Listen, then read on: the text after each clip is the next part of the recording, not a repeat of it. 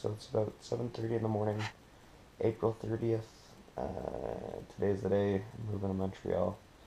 Uh, basically everything I own is all over here, all in this one big pile. In about an hour or so, uh, Papa Frankel's gonna come by.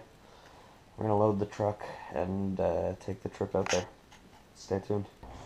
Um, we did it. You're on YouTube. Film the reflection, like running after you. Yeah. All right. Let's rock and roll. Guys. See ya, guys. See ya. Peace out.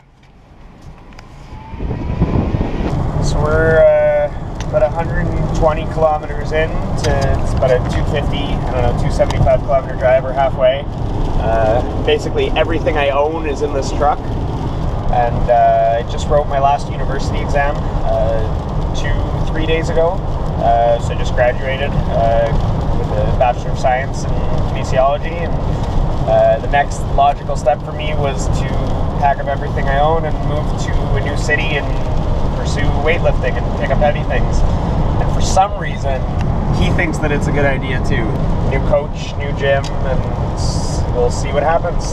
I'm either going to look back on this in seven years and this will be the start of a very successful documentary with a great ending, uh, or I'll fail miserably and see what happens.